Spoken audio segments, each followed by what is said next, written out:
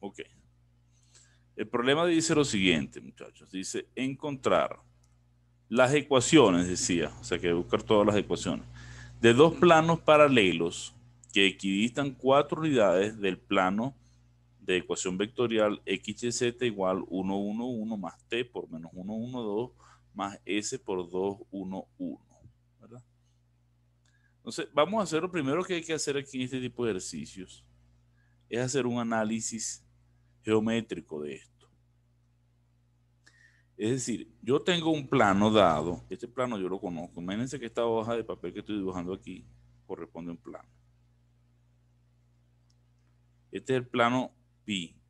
Que voy a hacer yo el plano pi, el plano que yo conozco, este, ¿no? Que aquí de cuatro unidades el plano pi. Vamos a llamar pi a este plano. Este que está aquí, ¿verdad? Y me están pidiendo dos planos, uno que está paralelo, por supuesto, uno que está aquí arriba y otro que está aquí debajo, ¿verdad?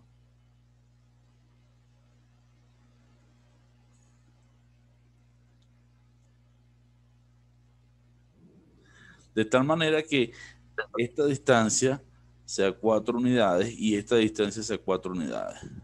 ¿Verdad? En eso están claros todos conmigo. Giselle, ¿eso lo tienes claro, hija? Sí, profe. Perfecto. Entonces, eso es lo primero que hay que hacer para tener una idea clara del problema. Entonces, para la ecuación de un plano, vamos a hacer el análisis para el plano de aquí arriba. Vamos a llamar pi 1 el plano superior. Y el análisis que hagamos para este es exactamente el mismo que vamos a hacer para el de abajo, que lo voy a llamar pi 2. ¿Ok?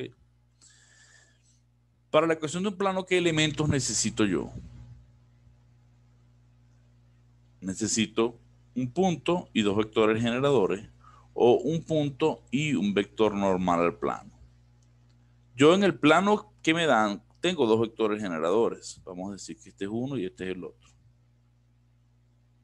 que son los vectores que me dieron, menos 1, 1, 2, y el otro que es 2, 1, 1. Entonces, yo con estos dos vectores generadores, que están aquí anclados en el origen, ¿verdad? Yo puedo generar el de arriba o el de abajo también, sin ningún problema. ¿Sí? Entonces, el problema real es obtener un punto en este plano. Obtener un punto que esté en este plano. Vamos a llamar a este punto que yo no conozco, voy a llamar a ese punto X0, Y0, Z0. ¿Ok? Ese punto es el que yo no conozco. Necesito un vector normal. Bueno, con estos dos vectores yo puedo obtener el vector normal. ¿Sí? Lo puedo buscar aquí el vector normal. Entonces lo primero que yo voy a hacer es buscar el vector normal plano pi. Si aquí me dan la ecuación vector, eh, cartesiana una vez, es más fácil sacar el vector normal, pero yo se los di un poquito más complicado para que pensaran, ¿no? El vector normal al plano pi vamos a poner NP, es el producto vectorial de los vectores generadores menos 1, 1, 2, cruz, 2, 1, 1. ¿Cuánto da esto? Vamos a ver. Sería, vamos a ponerlo aquí, después lo borro. Aquí coloco IJK. Aquí coloco menos 1, 1, 2. Y aquí coloco 2, 1, 1. Entonces, en dirección de Y, que es la primera componente, sería este determinante, ¿no? 1 menos 2 daría menos 1. En dirección de J sería menos 1 menos 4 daría menos 5, quedaría 5 porque es la posición impar. Y en dirección de K sería menos 1 menos 2 sería menos 3. Verifiquen por favor que no me haya equivocado por si acaso, pero este sería el vector normal. En realidad es un vector normal porque hay infinitos vectores normales. Puede ser más largo que ese, puede ser en lugar de A cruz B, B cruz A, etcétera, ¿no? Pero este sería un vector normal. O sea que yo tengo un vector que está aquí, que está, digamos, aquí, pero que realmente yo lo dibujo aquí, pero está aquí anclado en el origen. O sea, si por aquí está el origen de coordenadas, el vector está aquí anclado en el origen es normal. Entonces ese vector es normal a este plano y a este plano. O sea que ese mismo vector me sirve para resolver el problema. ¿Están conmigo hasta ahí? Giselle, ¿tienes eso claro? Sí, profe. Perfecto. ¿Qué nos está faltando? El punto. Entonces vamos a hacer el análisis para el punto. ¿Qué sé yo de este punto? Lo único que yo sé es que está a cuatro unidades del plano de aquí abajo, ¿verdad? Ese es el dato importante que tengo yo. Entonces me construyo una recta que pase por este punto. Una recta, vamos a llamar esta recta L. Una recta vertical, porque la distancia la voy a medir en forma vertical, ¿no? Si la distancia no la mido yo en diagonal, ¿no? O sea, la distancia de este plano no es esto, es esto de aquí a aquí, ¿no? Más cortico, ¿no? Entonces, me construyo esa recta vertical, que por cierto me salió un poquito torcida, pero bueno, es, es vertical, ¿no? Me construyo la recta L, voy a construir una recta L de ecuación x, y, z, ¿sí? Igual a un punto. ¿Qué punto voy a usar? Puedo usar este, pero este punto no lo conozco, ¿verdad? Entonces voy a usar más bien el punto que conozco en el plano de abajo, ¿verdad? Que conozco el punto 1, 1, 1, ¿verdad? Entonces no me construyo esta, vamos a hacer lo siguiente, sino que me construyo una recta vertical. Ah, que no quería borrar esto, no importa. Déjeme hacer lo siguiente. Me construyo una recta vertical que pase por el punto que conozco aquí, que es el punto 1, 1, 1. 1, 1, 1. Me construyo esta recta que de esta tengo más datos. Y ahí, ahí, voy a intersectar. El punto que consiga aquí no importa porque el punto es arbitrario. Ese es el mismo x0 y el 0 z 0 que estoy buscando. ¿no? Entonces el punto sería x, y, z igual. La ecuación, ¿Cuál es la ecuación de la recta? X igual a p más t por a, ¿verdad? Un punto que voy a tomar, repito, el punto del plano, que es 1, 1, 1, que lo conozco, más un parámetro ρ TSM, no lo que usted quiera darle, pero como yo usé T y S aquí, uso otro parámetro distinto aquí, por el vector director. ¿Quién será el vector director? Ah, ¿quién será el vector director?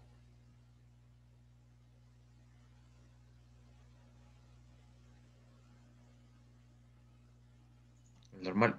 Es normal, es normal. Es normal que lo tengo aquí, ¿no? Este, este me hace que la recta sea vertical. ¿verdad? ¿Cuál es ese vector normal? El producto cruz que tengo aquí, ¿verdad? Que sería menos 1, 5, 3. ¿verdad? Y tengo una ecuación para la recta. Vamos a marcarla por aquí. ¿Ok? ¿Esto lo tienen claro todo? Voy a guardar esta paginita en un PDF y vamos a continuar. Vamos a borrar de este lado para hacer un espacio. Repito, voy a centrar todos mis esfuerzos en obtener un punto en el plano superior. Y van a ver qué pasa que ahí saco todos los puntos, ¿no? Ya tengo la ecuación de la recta, ¿verdad? Por eso necesita el vector normal y el punto, ¿no? Entonces, este punto que yo tengo aquí arriba, que es el que estoy buscando, ¿verdad? Esta cosa no sé qué se me hizo. Este punto que tengo aquí arriba, este que está aquí, que es el que no conozco, ¿qué sé yo de él? Que él está en la recta. O sea, él satisface esta ecuación. Y también está a cuatro unidades del punto 1, 1, 1. ¿Sí? Entonces vamos a ver, vamos a hacer lo siguiente, ¿verdad? este, los, la ecuación sería lo siguiente, ¿no? Sería x es igual a 1 menos rho, y es igual a 1 más 5 por rho, y z es igual a 3, a 1 más 3 por rho. ¿Sí? Yo tengo estos datos. Si yo conociera cuánto vale rho, para un valor específico sabría cuánto vale x0 y y0 z0. Aquí voy a poner una vez x0 y y0 z0, ¿no? Porque sé que el punto satisface. Si yo quiero dejo x, y z en general, estas variables son mudas, ¿no? Pero vamos a poner x0 y y0 z0 para que sepan que me refiero al punto que está aquí arriba, ¿no? A este que está en el plano. Lo que yo sé de este punto, ¿verdad? Es que la distancia, la distancia del punto 1, 1, 1 que está en el plano, ¿verdad?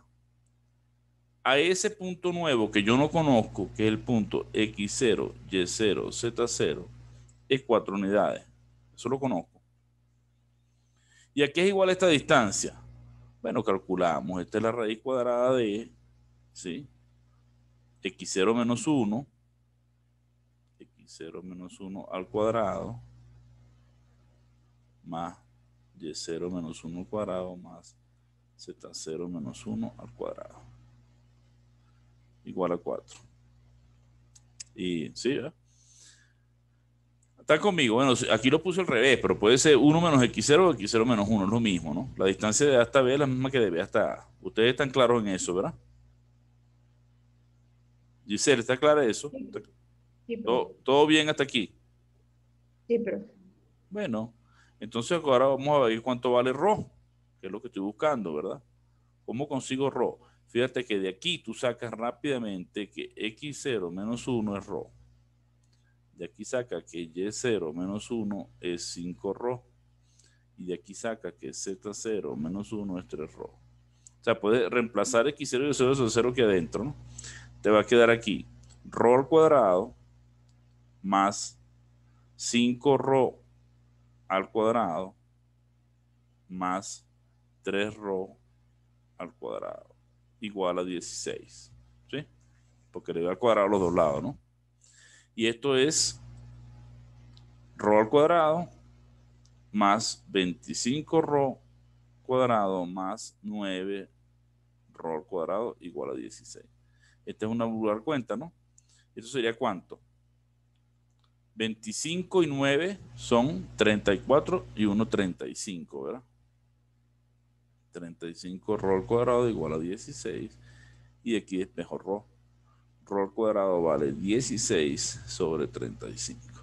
Quiere decir que rho vale más o menos la raíz cuadrada de 16 sobre 35. Y como da más o menos, me dan dos soluciones. Para el signo más obtengo el punto que está aquí arriba y para el signo menos obtengo el punto que está aquí abajo. Uno arriba uno abajo. Y tengo las dos soluciones. ¿Estamos claros? Una vez que yo tengo rho, ¿verdad? Yo tengo rho. Entonces yo conozco el punto, ¿verdad? Ya calculé rho, voy a buscar el punto. ¿Cuánto vale el punto? Bueno, en realidad hay dos puntos. Voy a hacer el análisis para uno, ustedes terminarían el otro, ¿no?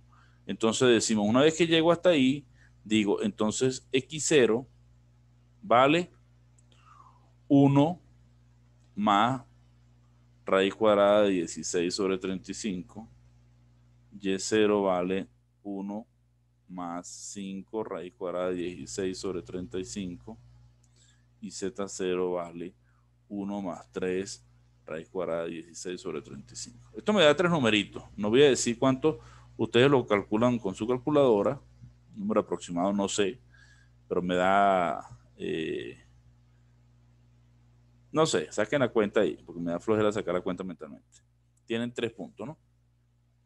Entonces, ¿cuál es la ecuación del plano? La ecuación del plano pi, que es la que estoy buscando, ¿cuál sería?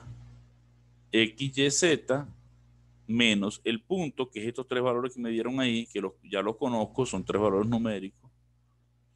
Producto escalar con el vector normal, que lo conozco. ¿Cuánto era el vector normal? Que ya lo borré de aquí. ¿Cuánto era el vector normal? Menos 153. Menos 153, ¿verdad? Aquí lo tengo aquí exactamente por menos 153 igual a 0. Y esto es una cuenta resto. Eh, ya esa es una ecuación, de hecho, ¿no? Pero si le pedían todas las ecuaciones, ustedes seguían sacando la cuenta por menos 153 igual a 0, etcétera, ¿no? Entonces, yo creo que de ahí en adelante lo demás es, coser y cantar, porque nada más multiplicar y agrupar los términos, ¿no? Y esa era una solución. ¿Cuál es el segundo plano? usando el signo menos, con el signo menos, colocaban el signo menos aquí, pim, pim, pim, pim, daban otro punto diferente y hacían la misma cuenta. ¿Estamos claros, eh, Giselle? Sí, profe, profe, una pregunta. Dime. En el taller decía que pongamos tres ecuaciones, se refiere a, o sea, a la ecuación. A la ecuación, claro. ¿Cuáles son las tres ecuaciones? La primera que yo coloco, que x menos el punto por n igual a cero, esta es la ecuación normal, ¿verdad? Después venía la ecuación vectorial y después la ecuación cartesiana. La ecuación cartesiana era multiplicar aquí y agrupar, ¿no? Que le iba a dar a x más by más cz igual a 0. Y la vectorial era x igual al punto, que es el que consiguieron aquí, ¿verdad? El x0 y y0 z0, más t, y usaban los generadores que tenían aquí arriba, porque estos generan los dos planos. Ok, profe, gracias. Ya. La idea mía es que ustedes sepan manejarse con las tres ecuaciones, de una para otra, de la, ¿ok? Tanto para las rectas como para el plano. ¿Hay alguna pregunta adicional?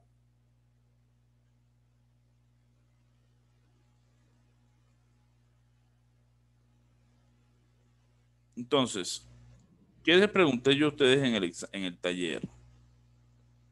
Les pregunté rectas, plano combinado con recta. Por ejemplo, uno que no, no intersectaron los dos planos, uno de los ejercicios que decía hallar la distancia de un punto a la recta que es la intersección de los planos y le da dos planos. Ahí se pelaron casi todo, casi nadie sacó los puntos completos. Algunos hicieron las cosas bien completas, pero muy pocos, ¿no? ¿Cómo intersectamos dos planos? Vamos a hacer un ejercicio de este tipo para que practiquen. Vamos a darle un plano, digamos, x, y, z igual a 0, 1, 1, t por 1 menos 1, 0, s por 0, 1 menos 1. Este es pi 1.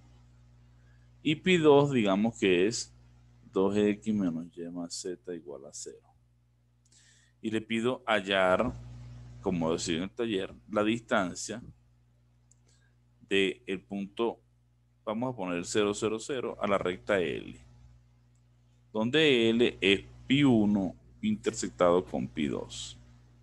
¿Ok? Entonces, ¿qué es lo primero que hay que hacer? Primero que hallar la intersección. Si yo no hallo la intersección de los planos, estoy frito, nunca voy a poder hallar la distancia. ¿Ok? Entonces, como ejercicio, va, búsqueme la intersección de estos dos planos. Solamente hubo un grupo que lo hizo bien. Voy a pausar para que busquen la intersección, ¿ok? Para intersectar estos dos planos, lo primero que hay que hacer, vamos a resolver un sistema de dos ecuaciones, de ecuaciones cartesianas. En el plano pi2 ya tengo la ecuación cartesiana. Entonces, para el plano pi1, lo primero que debo hacer es obtener a partir de la ecuación vectorial, que es la que tengo acá, esta que tengo aquí, que se llama ecuación vectorial, obtener la ecuación cartesiana del plano. Eso se los enseñé a hacer. Hagan el producto cruz de estos dos vectores busquen el vector normal como A cruz B. Y con el vector normal y el punto, hacen X, que es X, Y, Z menos el punto, producto escalar con el vector normal igual a cero y buscan la ecuación cartesiana. Entonces voy a darles un tiempito para que entiendan primero buscar la ecuación cartesiana de pi 1. Buscan la ecuación cartesiana de pi 1. Entonces, primero buscamos el vector normal, repito, ¿verdad? Usted podía escoger A cruz B o B cruz A, ¿no? Pero coloco, por ejemplo, aquí IJK, que es E1, E2, E3, ¿verdad? 1 menos 1, 0. Y el segundo que era 0, 1 menos 1, ¿verdad? En dirección de I sería 1 menos 0, en dirección de I queda 1. En dirección de J queda menos 1, queda 1 otra vez, porque es el impar. Y en dirección de K queda 1. 1, 1, 1. O puede darte menos 1, menos 1, menos 1, que si hubiese hecho B cruz A. Entonces este es el vector normal. Y el punto es este, 0, 1, 1. Entonces así es la ecuación x, y, z menos 0, 1, 1. Producto escalar con 1, 1, 1 igual a 0, ¿verdad? Aquí te queda x, y menos 1, z menos 1, multiplicado escalarmente por 1, 1, 1. Eso me va a dar igual a 0. Y la ecuación va a ser entonces x más y menos 1 más z menos 1 igual a 0, que la puedo escribir como x más y más z, x más y más z igual a 2, ¿verdad? Entonces, esa ecuación es la que voy a colocar aquí. ¿Ya? X más Y más Z igual a 2. Entonces, para hallar la intersección, lo que voy a hacer es resolver un sistema. Un sistema sencillísimo, del cual se supone, ustedes ya son expertos en hacer sistemas de ecuaciones porque lo vieron en el primer parcial. Se supone que ya ustedes aprobaron ese parcial y que todos validaron ese objetivo. Y si no lo saben hacer, pues toca practicar, ¿no? Toca practicar. Este es un pobre sistemita, muy sencillito de hacer. La matriz del sistema la escribo aquí. Voy a escribir esta ecuación arriba para no tener que cambiar las filas, ¿no? 1, 1, 1, 2 y debajo escribo 2 menos 1, 1, 0. Reduzco por fila, hago ceros hacia abajo, cambio F2 por F2 menos 2F1. Ya 1, 1, 1, 2. 2 menos 2, 0. Menos 1 menos 2 queda menos 3. 1 menos 2 queda menos 1. Y 0 menos 4 queda menos 4 aquí, ¿verdad? Después divido por 3 esta. Divido por 3 y me va a quedar 1, 1, 1, 2, 0, 1, 1 tercio, 4 tercios. Dividir por menos 3, ¿no? La operación aquí fue cambiar F2 por menos 1 tercio de F2. Y con este 1 hago ceros arriba, ¿verdad? Cambio F1 por F1 menos F2 para buscar la forma canónica, ¿no? Acuérdense que voy estoy aplicando aquí Gauss-Jordan. Aquí resto, 1 menos 1, 0. 1 menos 1 tercio son 2 tercios. Y 2 menos 4 tercios son 6 menos 4, 2 tercios. Revisen si me equivoqué en alguna cuenta, pero... Ok. Quiere decir que este sistema equivale a esto que tengo acá. Vamos a borrar aquí y busco la solución del sistema, ¿no? La solución del sistema es x